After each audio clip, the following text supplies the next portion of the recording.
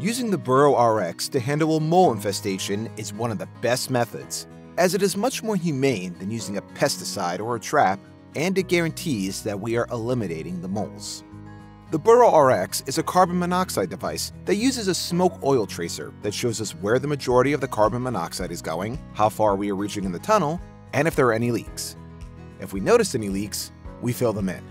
The gas isn't toxic to humans because we are outdoors in a well ventilated area. There's also no residual that is left behind, so the family is in no danger of getting a residue on them, and the mole situation is properly taken care of.